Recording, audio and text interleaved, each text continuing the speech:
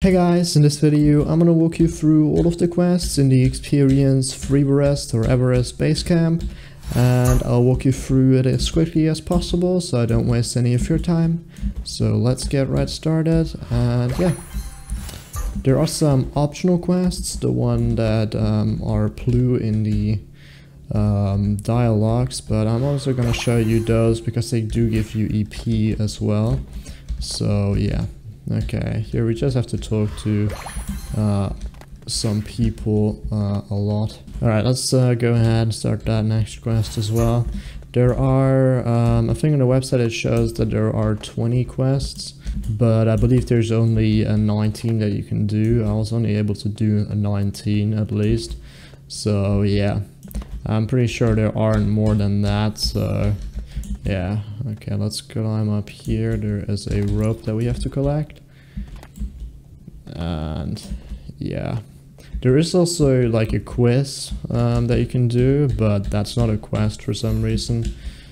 Um, so yeah, I have also um, tried that, so that's not it.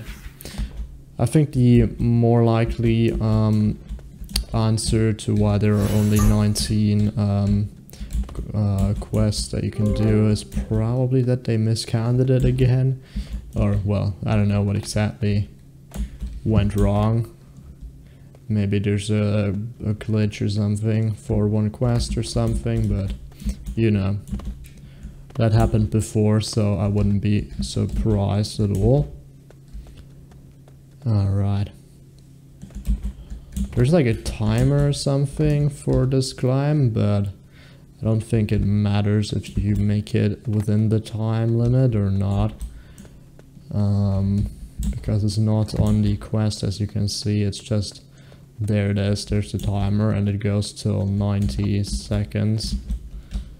So yeah, but that doesn't really matter as I said, we're just gonna walk onto that thing and there we go, that's that quest done as well. So let's climb the, not climb, jump down here. Uh, we're gonna attend the ceremony here. Okay, we started it. Now, okay, now we gotta go over here into the kitchen and collect the offering. And place it right here. There we go. Talk to that guy again. Talk to more people. It's a lot of talk in this um, experience. But yeah, let's continue here. We gotta collect some um, trash here. And also uh, start this one as well. Oh, hold on, this one's still collecting trash, I think. Okay, hold on, I gotta talk to this guy, and that should have completed another quest. Oh, hold on. Oh no, never mind, I already did that, okay. So let's just collect the trash now. There's 10 pieces scattered around. Well, there's one up here as well that I almost missed. Okay, let's talk to this guy. Okay, there we go.